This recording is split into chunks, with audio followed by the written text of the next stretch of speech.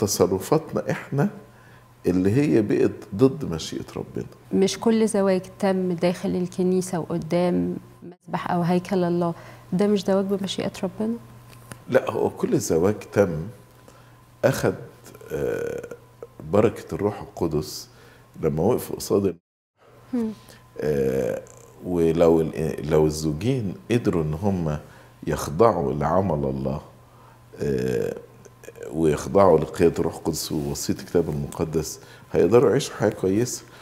اللي أنا عايز أقوله ما أقدرش أقول إن الزواج ما كانش بمشيئة الله لكن أقدر أقول تصرفاتنا إحنا اللي هي بقت ضد مشيئة ربنا. فلأن تصرفاتي بقت ضد مشيئة ربنا ده اللي أدى إلى فشل الزواج. Yeah. آه، لكن طبعا ربنا بارك الزواج وفي في نعمة الروح القدس اللي بياخدوها في في في سر الزواج هذه النعمة كفيلة إنها تغطي ضعفاتنا وتقوينا وتعطينا إمكانية إن إحنا نعيش حياة مقدسة لو إحنا خضعنا العمل للروح القدس وخضعنا لوصية ربنا لكن أنا بيبقى عندي تريجر اللي هو نعمة الروح القدس بركنه على. جنب وبمشي نفسي. فده اللي بيخلي ال- الزواج يفشل. لكن لو أنا استفدت بالنعمة اللي أخدتها بالكنز اللي أخدته ده استفدنا بيه وابتدينا نحيا حياتنا آه، متكلين على هذه النعمة لن أرى طلاق في الكنيسة. لن أرى طلاق في الكنيسة خالص. خالص. كلام الكتاب المقدس واضح وصريح إنه ما فيش طلاق إلا لعله الزنا. هل لو حصل طلاق بسبب علة الزنا فالشخص اللي هو متضرر ممكن الكنيسة بتديله تصريح زواج.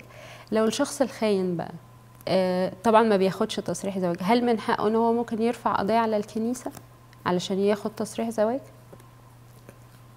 يعني أي حد ممكن يرفع قضية. لكن هو ال- السؤال يمكن إن أنت بتسأليه هل الكنيسة هتخضع في الآخر لحكم القضاء.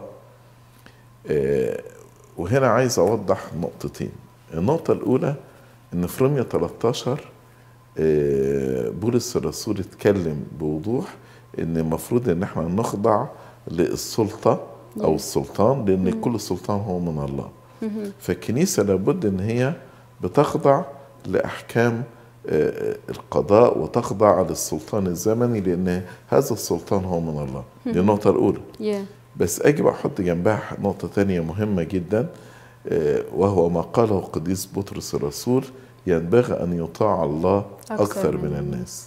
يعني لو السلطان الزمني ده قال لي انكر مسيحك وبخر للأوثان زي ما كان بيحصل زمان. هل هنا طبق رمية 13 لا. هنا أقول ينبغي أن يطاع الله أكثر, أكثر من الناس.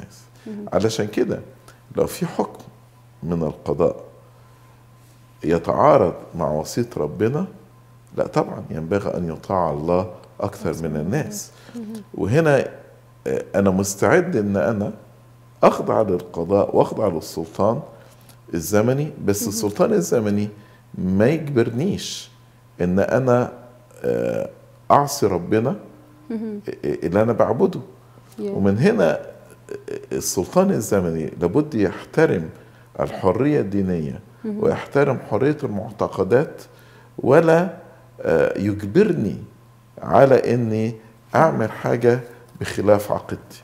لأن. ده في ضد حقوق الإنسان وضد حرية العقيدة وحرية الدين. عشان كده آه، ليس في حق أي سلطان زمني ايا كان أنه يجبر الإنسان على إنه يخالف عقيدته أو يخالف آه، وصية ربنا بالنسبة له.